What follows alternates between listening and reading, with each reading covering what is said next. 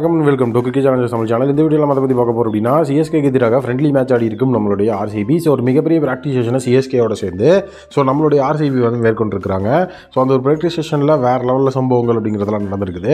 So என்னெல்லாம் நடந்துச்சு அப்படிங்கிறத வந்து டீட்டெயிலில் உங்களுக்கு சொல்கிறேன் ஸோ ஆர்சிபி வந்து சென்னை போய் ரீச் பண்ணதுக்கப்புறமா அவங்க தனியாக தான் ப்ராக்டிஸ் பண்ணிட்டு இருந்தாங்க. பட் சென்னை பிளேக்ஸாக வந்ததுக்கப்புறம் ரெண்டு பேரும் ஒட்டுக்கா சேர்ந்து ப்ராக்டிஸ் பண்ணுற மாதிரியான விஷயங்கள் ஏற்பட்டுச்சு.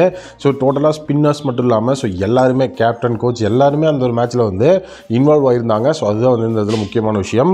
அல்சாரி ஜோசப்க்கு வந்துட்டு டுவைன் பிராவோ ஒரு வேறு லெவல் ஹிண்டெல்லாம் கொடுத்து பவுலிங் அப்படிங்கிறத வேறு லெவல் எப்படி போடலாம் அப்படிங்கிற மாதிரியான ஹிண்ட் கொடுத்துட்டு இருந்தாரு ஸோ வில் ஜாக்ஸுக்கு வந்து மொயின் அலி ஒரு வேறு லெவல் ப்ராக்டிஷன் அப்படிங்கிறது கொடுத்துட்டு இருந்தார் அதுக்கப்புறம் இன்ட்ராக்ஷன் செஷன் வந்து நம்மளுடைய ஃபாஃப் டூப்ளஸருக்கும் சாண்டருக்கும் இடையில வந்து இருந்தது. ஸோ டோட்டலாக வந்துட்டு இந்த இடத்துல நம்ம ஈடனாக பார்க்க வேண்டியது. ஃபாஃப் அண்ட் எம்எஸ் டோனி தான். வேறு லெவலில் வந்து ஜாலியாக அவங்க வந்து ருத்ரா விகத்தில் வச்சு ஃபன் பண்ணி வந்து பேசிகிட்டு இருந்தாங்க.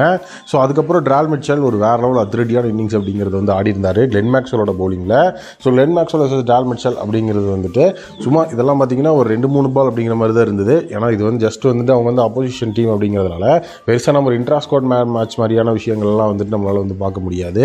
ஸோ அதனால் வந்து சும்மா ரெண்டு மூணு பால் அப்படிங்கிற மாதிரி போட்டிருப்பாங்க. ஸோ மொயின் அலி வந்து பார்த்தீங்க அப்படின்னா வில் ஜாக்ஸுக்கு வந்து ஓவர் போட்டிருப்பாரு. ஸோ கரண் சர்மா அதுக்கப்புறம் வந்து பார்த்தீங்கன்னா கொஞ்சம் கொஞ்சமாக அவங்க அவங்களோட வேறு லெவல் டீம்ஸோடு சேர்ந்து அவங்க ப்ராக்டிஸ் அப்படிங்கிறத வந்து ஆரம்பித்து அந்த இடத்துல வந்து கொண்டு போயிட்டு இருந்தாங்க. ஸோ டோட்டலாக வந்து டயன் பிரபு அல்சாரி ஜோசப்க்கு வந்து அந்த இடத்துல வந்து டிப்ஸ் அப்படிங்கிறதெல்லாம் கொடுக்குறது பார்க்கும்போது செமையாகவே இருந்துச்சு. ஸோ ஐபிஎல் அப்படிங்கிறது இப்போ எவ்வளோ வந்து டெவலப் ஆகி வேறு லெவலில் வந்து மெச்சூரப் ஆகிருக்கு அப்படிங்கிறது இதுக்கு வந்து ஒரு மிகப்பெரிய உதாரணம். ஸோ டோட்டலாக கரண் சர்மா வந்து ஃபுல் அண்ட் ஃபுல் ஒரு ப்ராக்டிஸில் இருந்ததுனால என்னோட ஒப்பீனியன் பிளேயிங் லெவனில் கரண் சர்மாவையும் உள்ளே ஆட வைப்பாங்களா அப்படிங்கிற மாதிரி ஒரு த்ராட் ப்ராசஸ் அப்படிங்கிறதுக்குள்ளே எனக்கு வந்து கொண்டு போகுது. ஸோ கண்டிப்பாக அது நடக்கணும். ஏன்னா நடந்தால் தான் ஸ்பின் அட்டாக் அப்படிங்கிறத பேஸ் பண்ண ஒரு பிச்சில் வந்து நம்ம ஈஸியாக வந்து உள்ளே வந்து நுழைய முடியும். ஸோ அதுவுமே இன்னுமே வந்து ரொம்பவே வந்து ஒரு முக்கியமான விஷயம். ஸோ அது மட்டும் இல்லாமல் ஹார்ட் ப்ளூஸை பொறுத்த வரைக்கும் ருத்ராகிக்கத்துக்கு வேறு லெவலில் வந்து கங்க்ராச்சுலேட் பண்ணியிருந்தார். எம்எஸ் டோனி கிட்ட வந்து இன்ட்ராக்ட் பண்ணியிருந்தார். ஸோ அதுக்கப்புறம் வந்துட்டு வில் ஜாக்ஸ் மொயின் அலி அப்படிங்கிற சம்பவம் இருந்தது.